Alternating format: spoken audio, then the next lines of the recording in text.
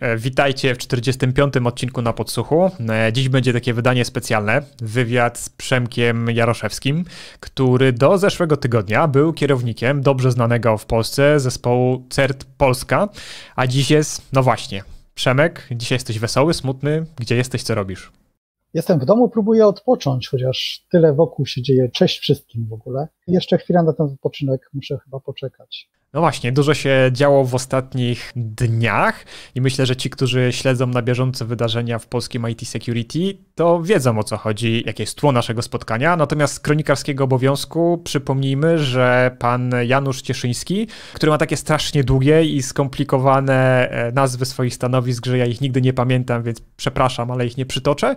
W każdym razie postać reprezentująca KPRM powiedział, że e, były pewne e, zastrzeżenia co do tego, w jaki sposób komunikowałeś się na Facebooku i można byłoby zażartować, że twoje posty nie spełniały standardów społeczności Prawa i Sprawiedliwości, jeśli mi taki żart wybaczysz. E, natomiast e, pytanie, czy rzeczywiście ta decyzja o wylogowaniu cię z e, CERT-u to jest decyzja, której podłożem było to, że faktycznie komuś przeszkadza to, co piszesz na Facebooku, na prywatnym profilu na Facebooku? Wiesz, żart ci wybaczę, nie wiem jak pan minister, czy, czy on wybaczy.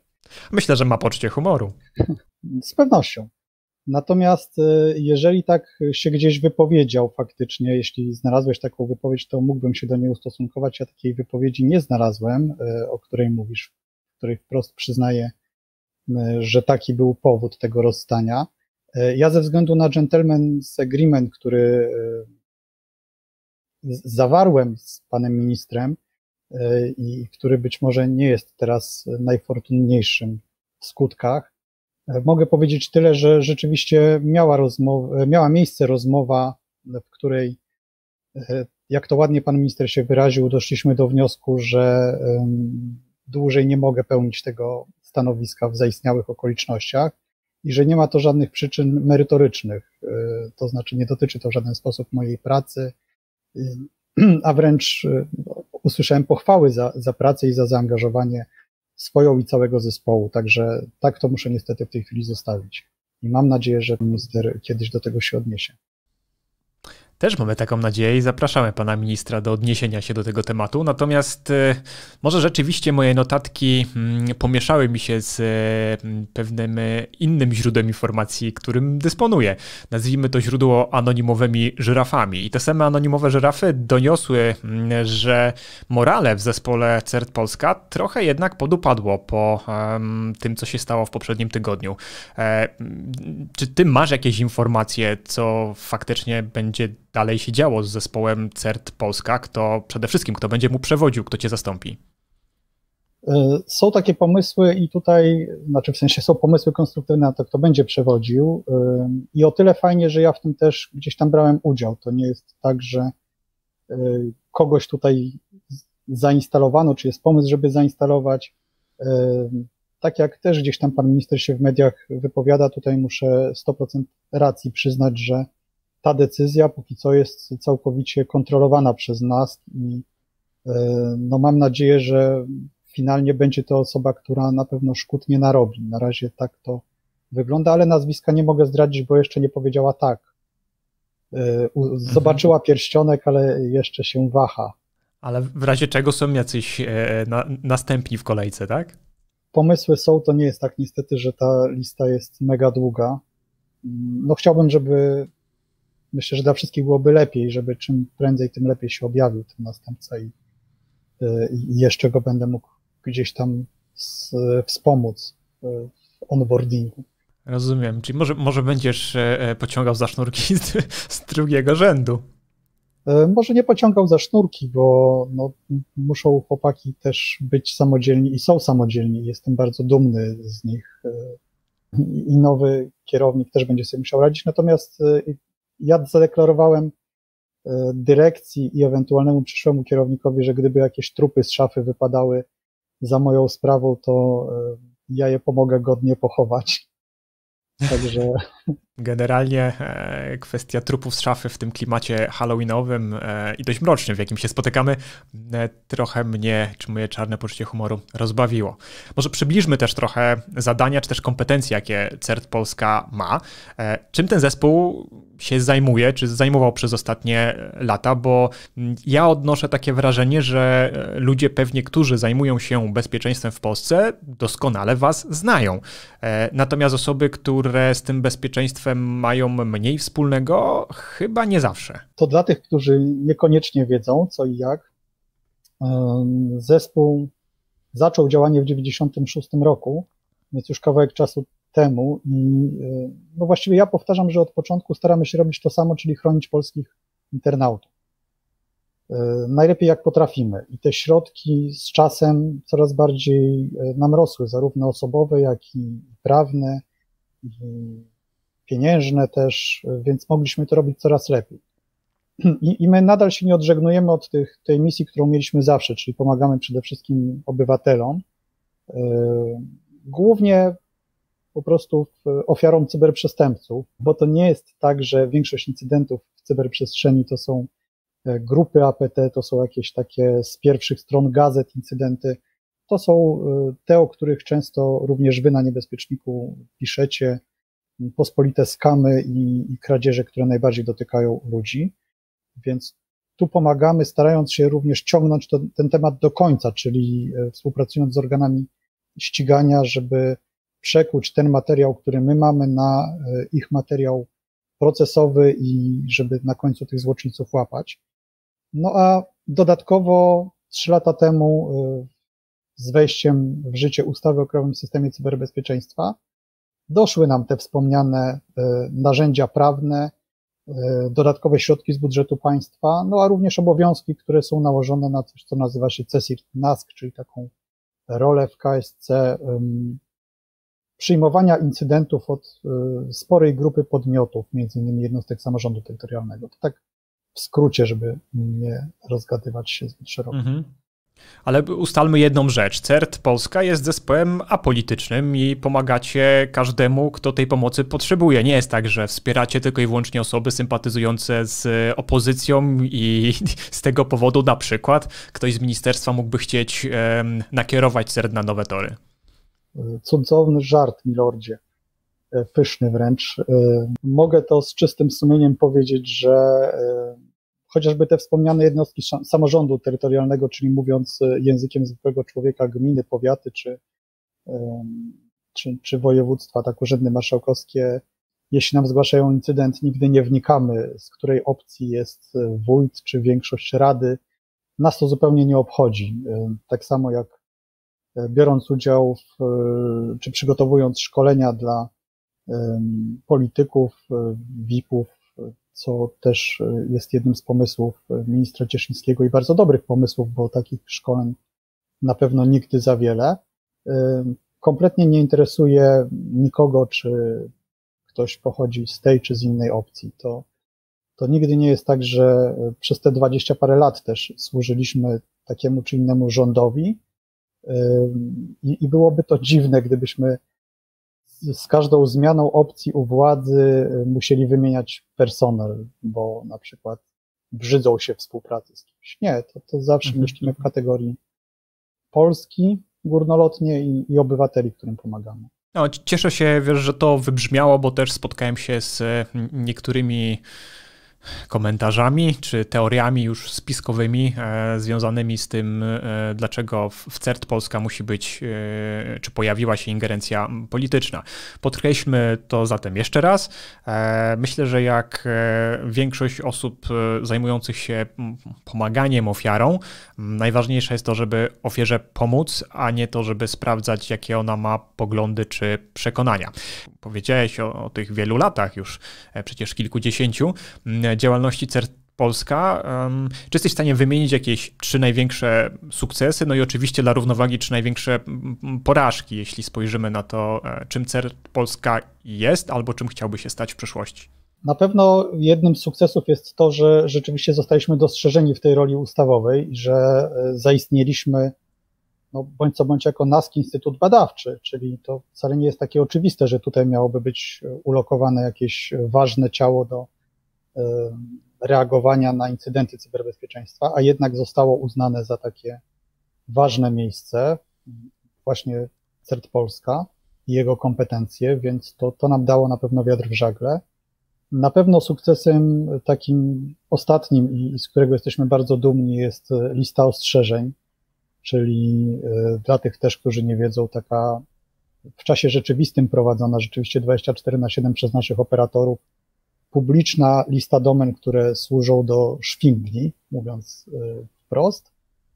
E, no i, i, i, z tych poprzednich również kierowników, bo ja tutaj tylko 5 lat na tym stanowisku, a 20 w ogóle, też na pewno sukcesem, który pamiętam, było rozmontowanie po raz pierwszy rzeczywiście w Polsce botnetu Viruta. Nie wiem, czy jeszcze pamiętasz te no i tak, tak, pamiętam. Nawet e, kojarzę, po których korytarzach, jakich instytucji e, chodził mm, e, pomysłodawca Viruta i rekrutował pierwszych programistów do tego projektu.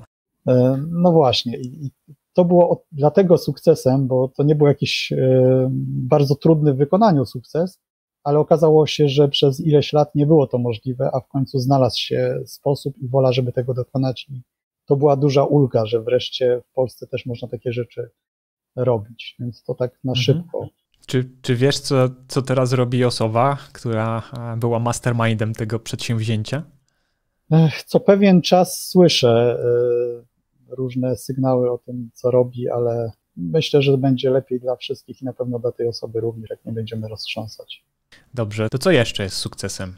E, trzy już były. Chcesz dorzucić czwarty, to śmiało. Mm, wiesz, na pewno znowu takim najświeższym sukcesem i to jest, to jest też fajne i też powód do dumy, myślę, że nie tylko CERT-u, ale, ale w ogóle Polski jest to, że drugie miejsce zajęła reprezentacja Polski e, w European Cyber Security Challenge, czyli takich międzynarodowych zawodach w hakowaniu, co jest o tyle fajne, że jakby proporcjonalnie do środków, które inwestują poszczególne kraje, wypadliśmy po prostu super rewelacyjnie, bo to było robione wyłącznie środkami tutaj NASK-u i, i trochę podpierając się funduszami europejskimi i w tych eliminacjach brało udział, jeśli dobrze pamiętam, e, nawet chyba nie 200 osób, e, a mimo to udało się wyłonić reprezentację, która zajęła drugie miejsce, a w zderzeniu z takimi krajami jak Francja, które tam naprawdę tysiące osób w eliminacjach i i olbrzymie środki wypadały dużo gorzej, no to jest to na pewno sukces.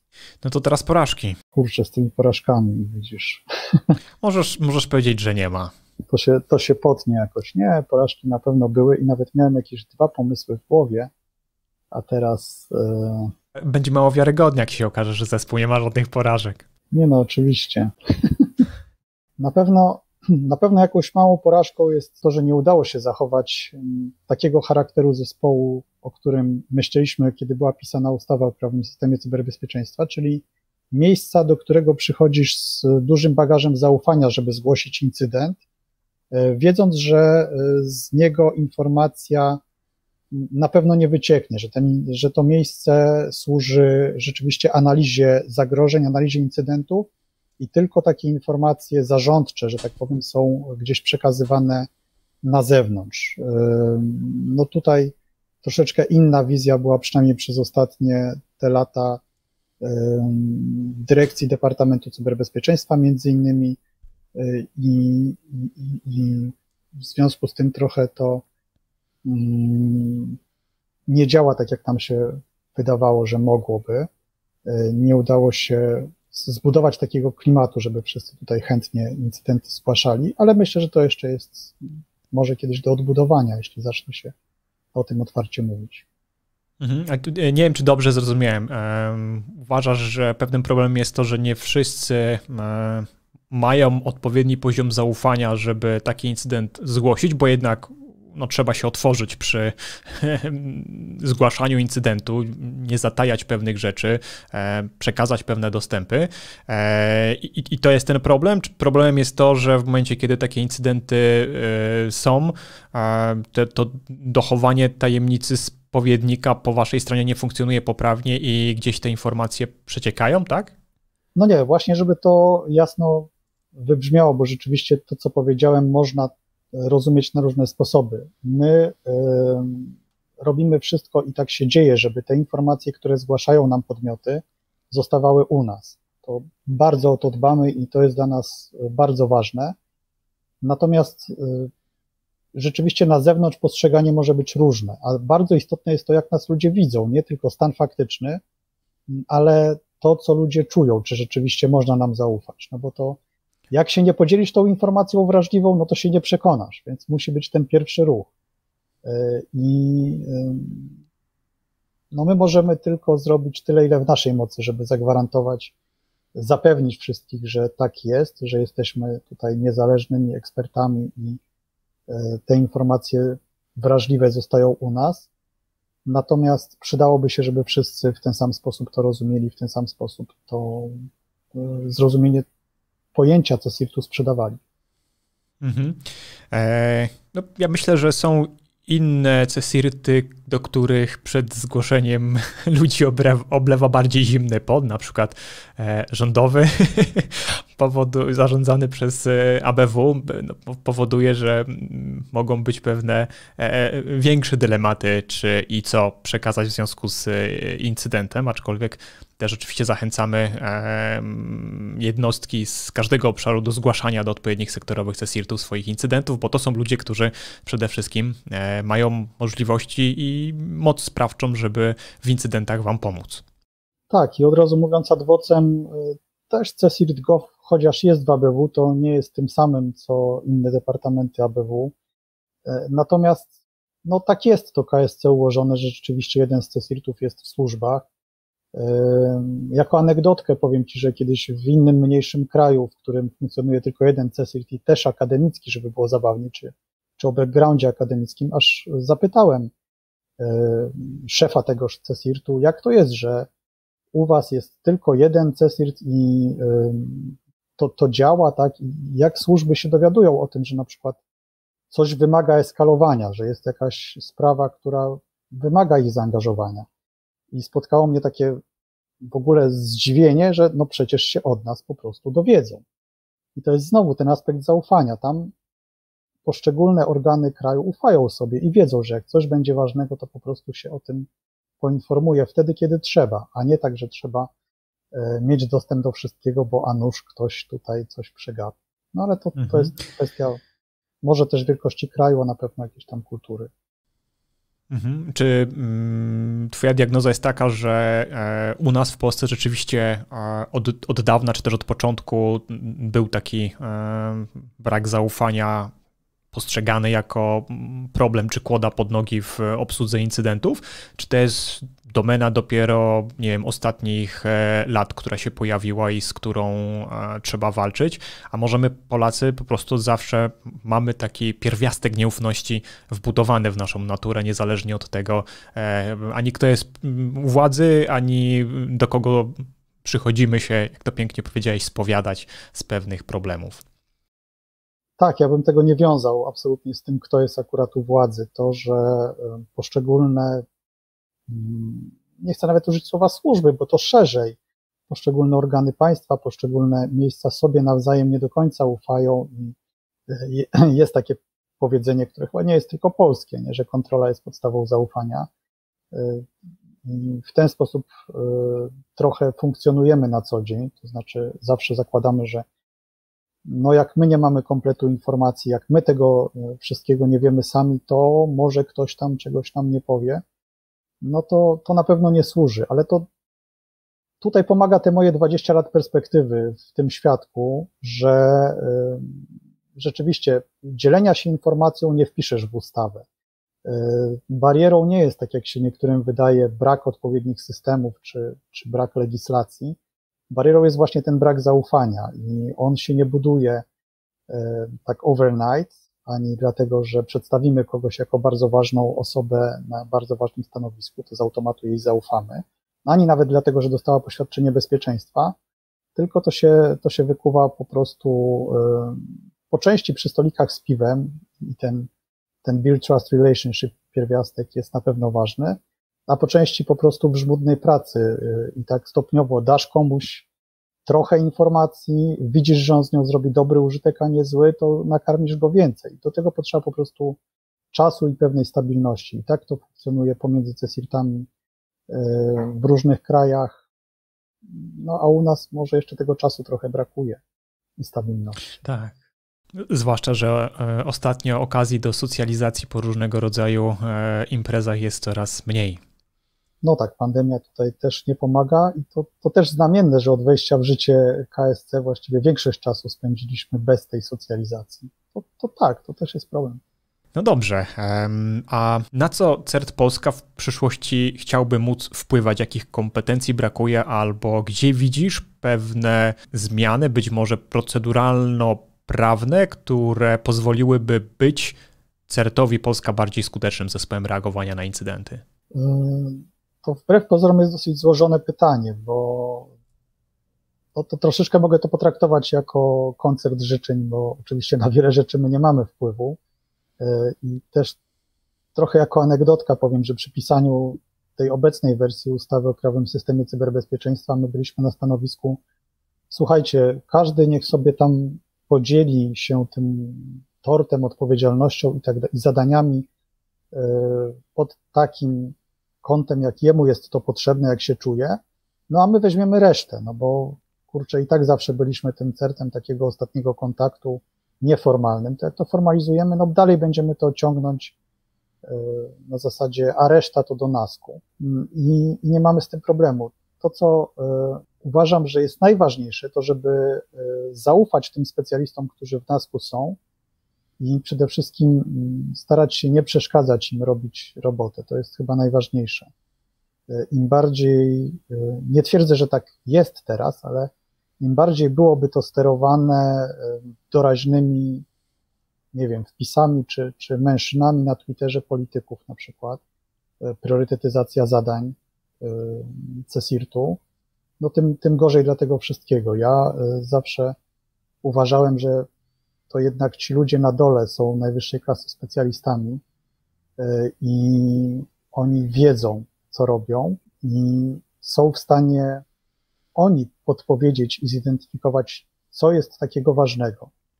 Więc jeśli się ich będzie słuchało, a nie będzie im się próbowało mówić, jak jest lepiej, to jest duża szansa, że, że to no, więcej pożytku przyniesie. W KSC szykują się pewne zmiany. Czy ty uważasz, że te zmiany to są zmiany potrzebne, czy może chciałbyś jeszcze jakąś zmianę w ramach tego koncertu życzeń e, dorzucić, która póki co nie jest nigdzie zaakcentowana?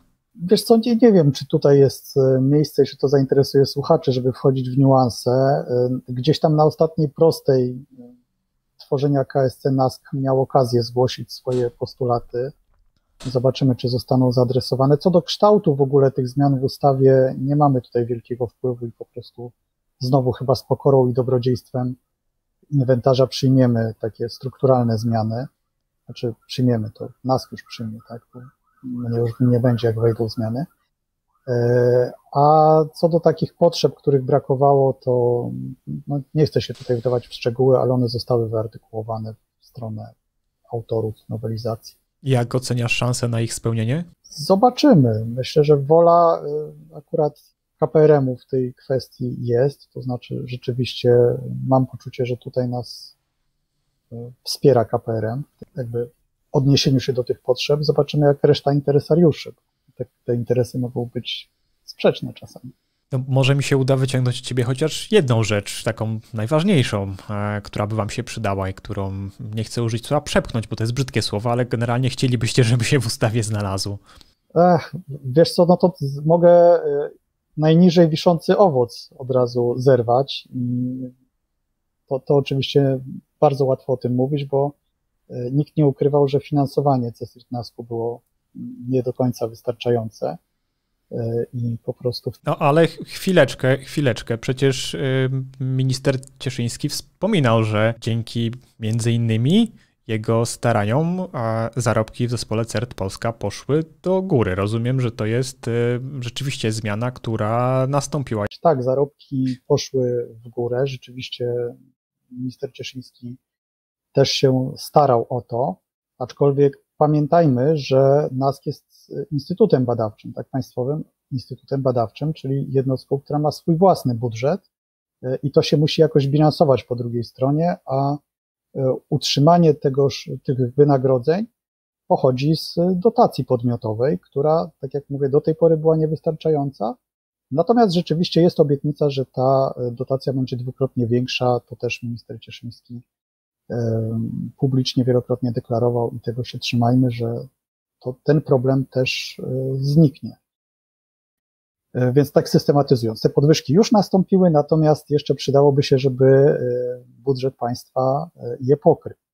Przy okazji może e, chciałbyś tutaj wspomnieć o tym, jak można się do CERT Polska zrekrutować. W tej chwili na wszystkie zespoły, które w CERTie funkcjonowały, a to są zespoły no, w uproszczeniu pierwszej, drugiej, trzeciej linii forenzika, zespół projektowy, wszędzie są wakaty. E, a czy przed aplikacją trzeba sobie wyczyścić historię postów na Facebooku, czy nie? E, no już myślałem, że to ustaliliśmy. My też nikogo w pracy nie pytamy o poglądy i e, wiesz co, to jakby poważnie podchodząc do twojego pytania, mm, wiemy mniej więcej, jakie kto ma poglądy u nas, bo ludzie o tym rozmawiają, ale też uważam, że sprawy służbowe nie są, czy miejsca jakieś takie komunikacji służbowej nie są tymi, w których o tych poglądach powinniśmy mhm. się wyrażać, czyli na, nie wiem, służbowych czatach, podpisuje się obiema rękami i pomimo tego, że pytanie może być zabawne, no to ono jest tak naprawdę mega poważne, bo sytuacja z tobą, to jest moja ocena, e, spowodowała, że wiele osób zadaje sobie takie pytanie i może to być pewnego rodzaju blokada dla niektórych. E, nie wiem, czy się ze mną wszyscy zgodzą, czy nie, ale w momencie, w którym ktoś ma świadomość, że X, kierownik zespołu, zmienił swoje miejsce pracy dlatego, że oficjalnie lub nie krążą plotki. E, wiem, że się do nich e, na tym etapie odnieść nie możesz. E, powodem tego, że eks-kierownik nie jest aktualnym kierownikiem, jest kwestia prywatnego profilu na Facebooku, no to to jest coś, co umówmy się w dzisiejszych czasach każdy ma i każdy powinien móc pisać absolutnie to, co chce, bo żyjemy w wolnym kraju, a to jak ktoś ma kompetencje techniczne, to to jest ten obszar, po którym powinien być na swoim miejscu pracy oceniany. To taki mój prywatny e, rajdzik, który tutaj chciałem zamanifestować i wstawić. No to ja ci mogę powiedzieć, jak się do tego odnosiłem ja w pracy i jak e, odnosił się do tego mój pracodawca. Akurat ze strony pracodawcy to w ogóle jest łatwo, bo nigdy nie było tego tematu. Poglądów politycznych nikt o to nie pytał i nikt jakby nie robił wykładów, jakie powinny te poglądy być, czy coś takiego. Natomiast jeśli chodzi o moje relacje z zespołem, to tak jak rozmawialiśmy, nigdy bym nie pozwolił na to, żeby ktoś, nie wiem, w prezentacjach służbowych, w ogóle w tematach jakichkolwiek służbowych e, podnosił tego rodzaju kwestie. Natomiast co robi prywatnie, w co wierzy, jakie poglądy religijne czy polityczne wyznaje, jest kompletnie jego prywatną sprawą, dopóki to nie ma wpływu na pracę nigdy ten, ten problem u nas nie istniał.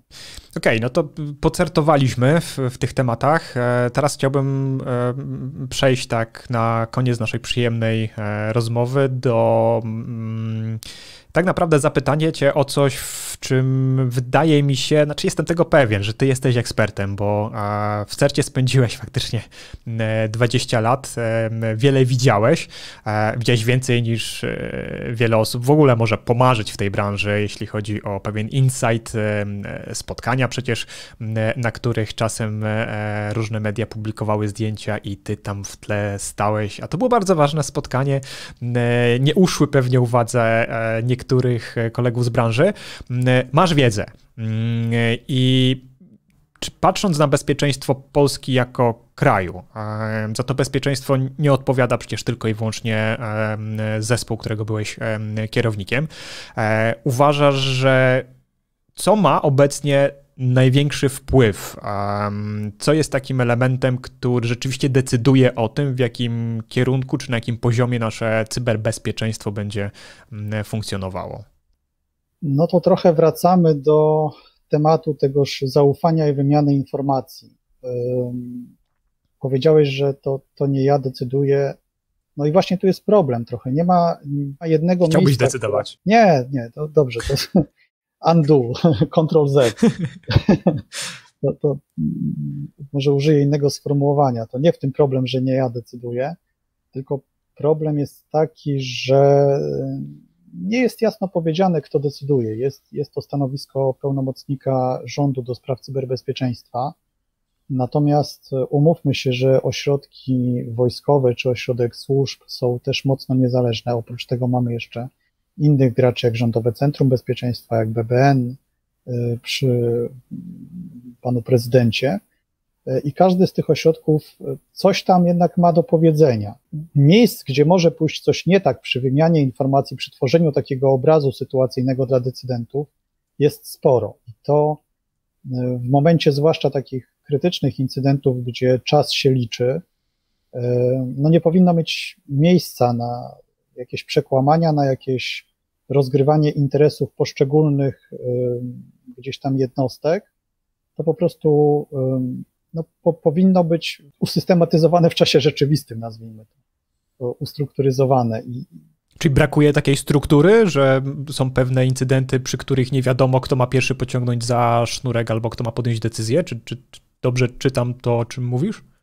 Trochę tak to jest teraz y, zorganizowane, że tego, że tego brakuje i y, no nie chciałbym jednocześnie w tej rozmowie mówić, kto powinien za ten sznurek pociągać, bo to wcale nie jest takie oczywiste. Y, natomiast na pewno jest tak, że no znowu słuszna obserwacja ministra Cieszyńskiego, jakby to trzeba przyznać, że bardzo dużo przez te kilka miesięcy poczynił trafnych obserwacji odnośnie KSC że no nie powinno być tak, że trzy CSIRTy działają troszeczkę w oderwaniu od siebie, e, każdy patrzy z innej strony i to mi przypomina takiego, tak, taki obraz z ósmej bodajże albo dziewiątej księgi Tytusa Romka i Atomka, jak wybrali się na western, usiedli w pierwszym rzędzie kina i opowiadają sobie na mojej połowie ekranu cwałuje bizon, na mojej kowboj rzuca lasem, a ja widzę samo lasso to, to nie powinno tak wyglądać, nie? że każdy patrzy na inny kawałek i potem sobie opowiadają, co widzą. To po prostu powinno być wspólne siedzenie e, no, przy jednym stole poniekąd w razie incydentów krytycznych i, e, i zarządzanie tą sytuacją. Natomiast mówię, są różne pomysły, e, jak to rzeczywiście ogarnąć, jak to skoordynować, lepsze, gorsze. To, to nie jest prosty temat, ale ale mhm. tego brakuje, tego elementu koordynującego i tego zaufania przy wymianie mm, informacji, ponieważ do tej pory każda e, z instytucji, które prowadzą CSIRT, plus tych innych, które wymieniłem, które też mają coś do powiedzenia, funkcjonowała w inny sposób, w innym reżimie prawnym i, i troszeczkę e, na innej części tego ekranu z westernem się skupiała. Mhm. A które rozwiązanie, czy który pomysł według Ciebie jest e, najlepszy? Tej chwili uciekłbym trochę od tego pytania, bo w polskich realiach nie wiem w tej chwili. Ja nie chcę uchodzić za mądrą głowę. E, to, to naprawdę jest zbyt wiele zmiennych. Okej. Okay. Czy jest jeszcze e, coś, co na koniec chciałbyś przekazać naszym czytelnikom e, albo osobom, które są w ministerstwie i które teraz mają wpływ na to, jak, albo chcą mieć wpływ, jak CERT Polska ma wyglądać? Mm, ojejku, i teraz na końcu dodałeś to, że to o CERT Polska chodzi. Ja bym ogólnie przekazał taką informację, że w każdym z CESIRT-ów pracują fajni, zdolni ludzie, w szczególności w CERT Polska oczywiście, y, i zaufajmy tym ludziom w obie strony. To znaczy, politycy powinni zaufać, że te CESIRT-y no jednak robią to, co do nich należy, czyli przetwarzają te informacje ze zgłoszeń, i z różnych innych sygnałów y, i są w stanie zrozumieć, co jest ważne, co nie i poinformować, kogo trzeba. Natomiast y, cała reszta, czyli nie polityków, no powinna mieć zaufanie, że warto zgłaszać incydenty, bo warto, bo im więcej tych informacji jest i im więcej można zrozumieć, tym więcej wniosków można wyciągnąć, a to jest jedyny sposób, żeby innych ostrzegać i bronić. No to co, dziękuję Ci bardzo za rozmowę i na koniec jeszcze może e, dla czytelników, którzy chcieliby poznać Twoje opinie na różne kwestie, powiedz, gdzie można śledzić Twoje wywrotowe posty. Myślę, że bez problemu e, można mnie sobie wyosintować, nie we wszystkich kanałach społecznościowych jestem równie aktywny, ale e, może to się zmieni, kiedy będę bardziej na zewnątrz i bardziej niezależnym może nie ekspertem, bo to zbyt mocne słowo, ale specjalistą od bezpieczeństwa. Także szukajcie, a znajdziecie. Dzięki Przemku, że poświęciłeś czas na rozmowę i powodzenia. Dziękuję Piotrze i dziękuję słuchaczom. Cześć, trzymajcie się.